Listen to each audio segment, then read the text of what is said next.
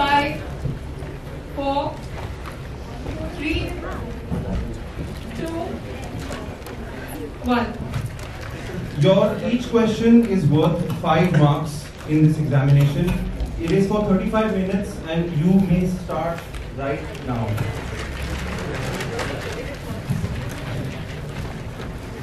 All of you all please read the instructions very well.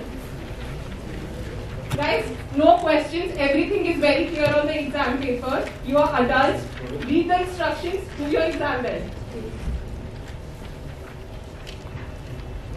I'm sorry, but how can someone answer in Mandarin? You better sit down.